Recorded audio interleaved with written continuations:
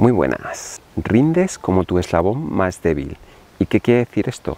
Que hasta la máquina mejor engrasada al final falla en algún punto. Pues ese punto en ti es lo que tienes que encontrar para mejorarlo, para ir mejorando todo el conjunto.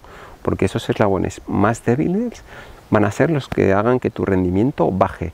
Por muy bien, por muy bien que entrenes o que tengas tus puntos fuertes, si esos puntos débiles no los trabajas, tu rendimiento no va a ser bueno. Y aquí una frase que dice Steven Kohler que es no te elevas al nivel de tus expectativas, sino que bajas al nivel de tu entrenamiento. Y cuando no entrenas esos puntos débiles, ya sabes, no está bien. ¿Y qué puntos débiles hay? Pues pueden ser a distintos niveles, a nivel físico, emocional o cognitivo. Por ejemplo, a nivel físico, si no es persistente en, esos entrenamientos, si no entrenas físicamente lo suficiente, no puedes esperar que en tu competición, en tu partido, en esa prueba, eh, tu cuerpo responda adecuadamente.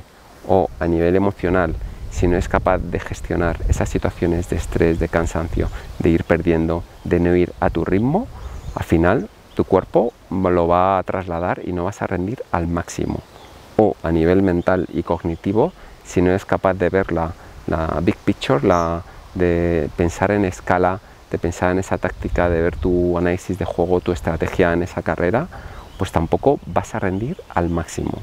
Mira cuál es tu eslabón más débil y trabaja en él. Una de las cosas claves que suele pasar a nivel físico es que los deportistas no suelen centrarse en dos cosas. Una, en cuál es su su flexibilidad y su movilidad, los ejercicios de movilidad, de rango articular, esos estiramientos, ese trabajo de, con la miofascia muscular, no lo trabajan bien y al final su cuerpo pues no funciona bien y está relacionado con el segundo que es la recuperación si no haces tanto ese trabajo de estiramientos masaje dormir bien alimentarte bien al final no vas a conseguir asimilar esos entrenamientos.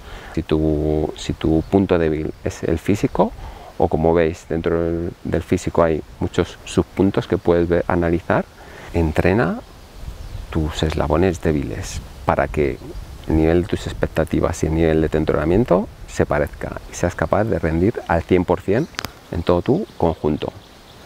Espero que os haya gustado este vídeo, si no te has suscrito al canal ya sabes hazlo por ahí, mira otros vídeos que son interesantes de alto rendimiento y a tope.